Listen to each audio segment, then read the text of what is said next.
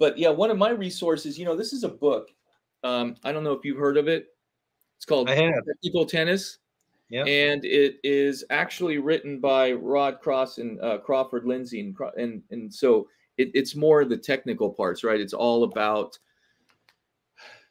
lab testing and kind of the difference between our perceptions of what we think is of how things really work as far as how we really generate spin how we really generate power. You know what what characteristics of the racket are really the the most important and what is is really marketing hype that we just have bought into over the years you know from manufacturers and stuff.